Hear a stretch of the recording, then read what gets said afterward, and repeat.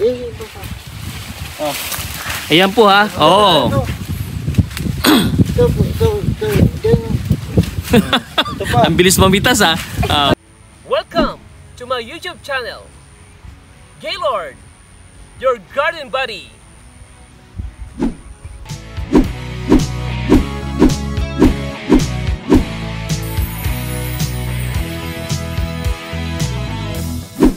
Hi guys!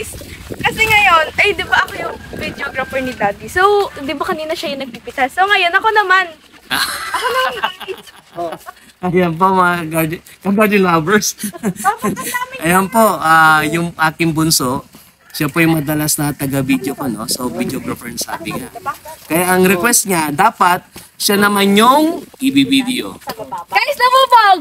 Ayan o. Bal sa papa. Oh, Ang ginawa po dyan, pinitas yung isa. Huwag mo na ilalagay yan akong. Pinitas po yung isang mangga. Then kapag lumubog, ibig sabihin ay pwede nang pahinugin. Kaya iyan ay pwede nang pitasin. Ayan, ang bababa po. Asa iba po dyan? Ayan yung plinag ko nung nakaraan. Ah, humalik na pa ah, humalik na sa lupa. Ah, tignan niyo naman po yung anak kong isa, yung panganay. Ah, anong ginagawa?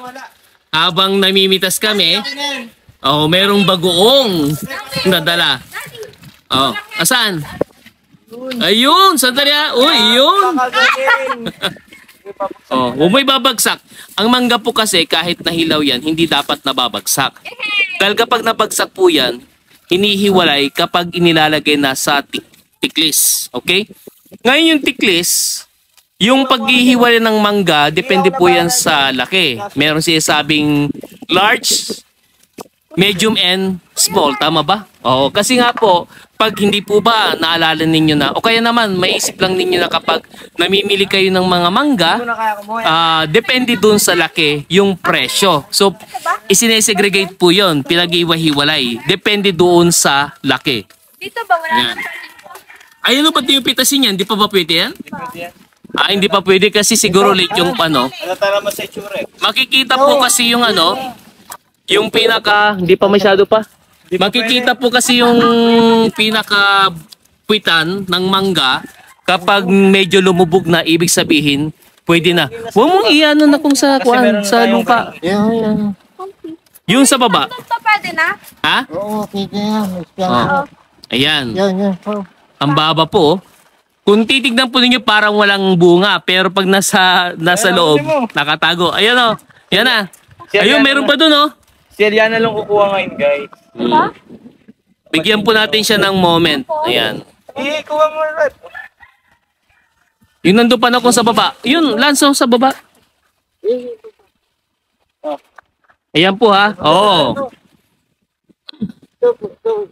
Dyan. Ang bilis mamitas ha. Ah, parang biyasa sa pagpipitas ha. Yun na sa baba doon. Pwede na ba yan? Oh. Meron pa po sa baba, yung humahalik na sa lupa. Oh. Ayan. Oh. Dito mo kunin. One, two, three. Dito mo kunin. Oh, I love you. Ayan, mga subscribers ko. Ayan. Diba? Oh, di ba? I love you guys! Ah, ibigay mo sa akin, ma'am. Ay, nahulog na. Sabi kasi hindi nagdaan-daan. Ayan mo, nahulog tuloy. Sorry Ah. guys! Ayan po ah. So, ilalagay po dito. Then yung iba po dito, yung iba yata hindi pa pa pwede yan. Ba? Ayun oh, ay hindi pa yan. pwede. Next week. So, next next week, pipitasin po namin yung iba po dyan. Oh, Lalaki pa yan. Yan na. Babay ka na rito. Ayan ha. Uh, again, Gaylord, your guardian body. O, babay na kayo dito. Again, Aliana, your garden buddy. Bye-bye!